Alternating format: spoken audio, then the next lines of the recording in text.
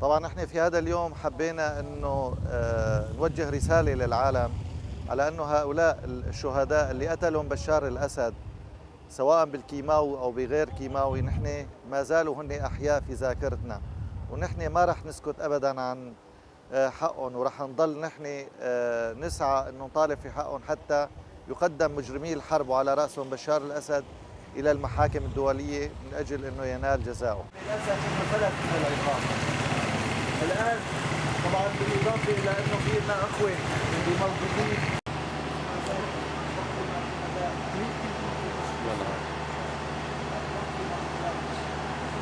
استدعاهم إلى تركيا بسبب استخدام بشار الأسد. لسلاح كيماوي ضد الائتلاف المتكرر الجانبيه شجاع غزه